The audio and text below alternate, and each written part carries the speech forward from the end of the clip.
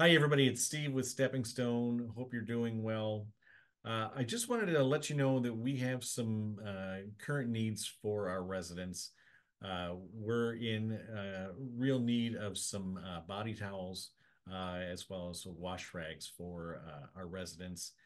and then we need body wash and deodorant. You know, as as the temperature starts to climb, we want to make sure people are getting good and clean uh, and feeling good about themselves. So if they're heading out for an interview uh, or just to, you know, look at an apartment, we want them to feel really good and feel um, excited to go out and start the day. So uh, if you're able to help us with any of those uh, donations, we would greatly appreciate it.